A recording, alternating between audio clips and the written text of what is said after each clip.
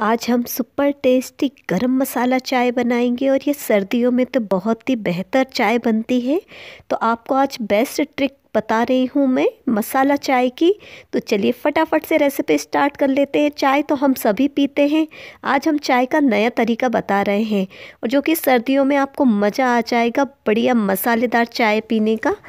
तो मेरी रेसिपी आप ज़रूर ट्राई कीजिएगा। तो ये मैंने दो कप दूध लिया है।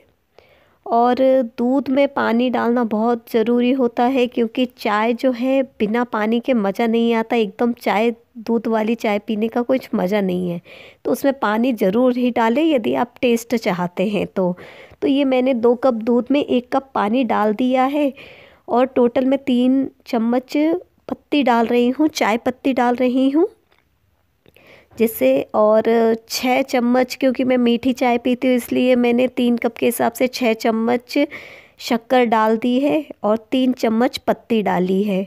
मैं इस टाइप से ही चाय बनाती हूँ और आपको कम पत्ती पसंद हो या कम शुगर पसंद हो तो आप डाल सकते हैं। एक उबाली आने के बाद आप अदरक डाल दीजिए। मैंने अदरक डाल दिया है।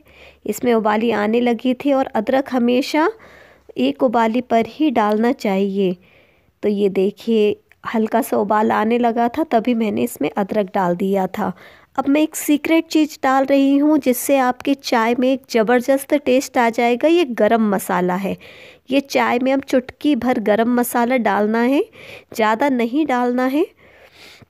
और ये देखिए, बहुत ही अमेजिंग मसालेदार चाय बनकर रेडी हो जाएगी।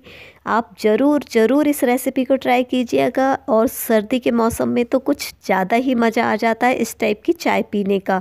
गरम मसाले में काफ़ी सारी चीज़ें होती हैं, इसलिए हम गरम मसाला डाल दें चाय में। तो काफ़ी अच्छी, बढ़िया सी चाय बन जाती है और बढ़िया आप चम्मच से ला दीजिए, बिल्कुल होटल वाली मसालेदार चाय बनकर रेडी हो जाएगी।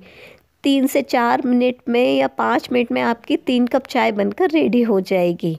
अब मैं एक सर्व कर देती हूँ, बढ़िया गरम गरम चाय आप पीजिएगा और आप इस रेसिपी को ज़रूर ट्राई कीजिएगा। आपकी चाय कैसी बनी कमेंट बॉक्स में ज़रूर बताइए। मेरे चैनल को लाइक शेयर और सब्सक्राइब करना ना भूलें। Thank you for watching. अगली वीडियो में जल्दी मिलते, तब तक के लिए नमस्कार।